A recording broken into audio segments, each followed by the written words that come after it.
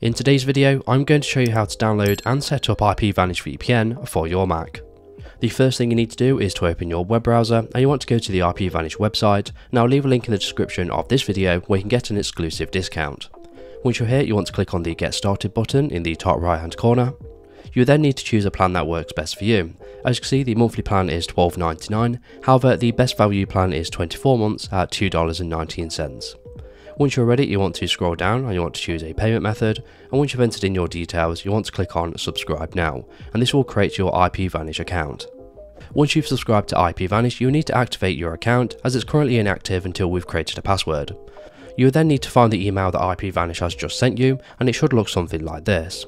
Once you've found it, you want to click on the green create password button.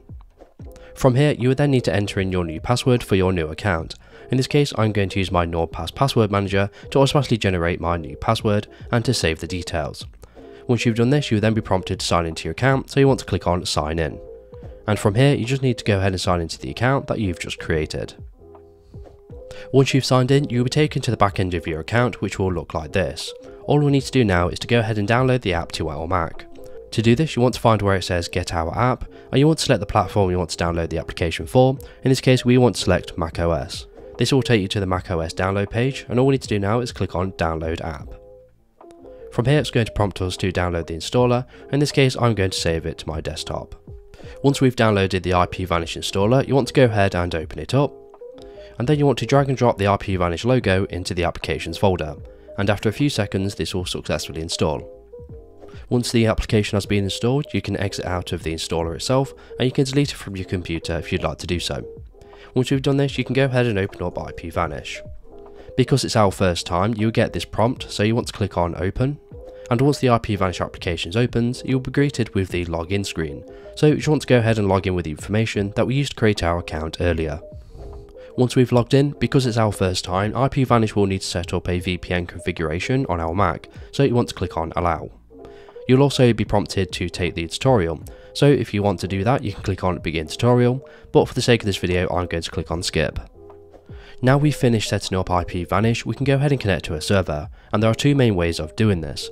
The first method is to go to the home screen, which we are currently on, and you can use this map on the right hand side to browse all of the available servers from around the world.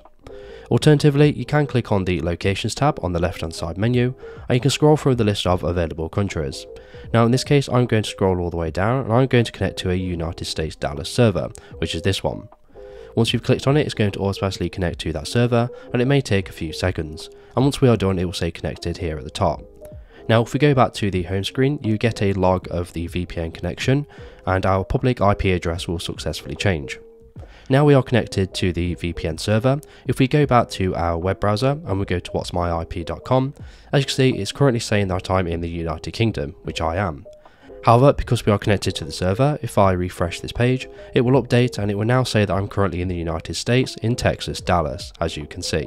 And this is great for doing many things on the internet, like unblocking censored websites, or simply changing your location on streaming services. If we want to disconnect from the VPN server, just simply click on the big disconnect button in the top right hand corner, and after a few seconds you'll be disconnected and you'll be taken to your normal IP address. So remember to click on the link in the description of this video if you want to get yourself an exclusive discount to IPVanish VPN. So if this video is helpful, please leave a like, and if you have any questions or comments, you can leave them below.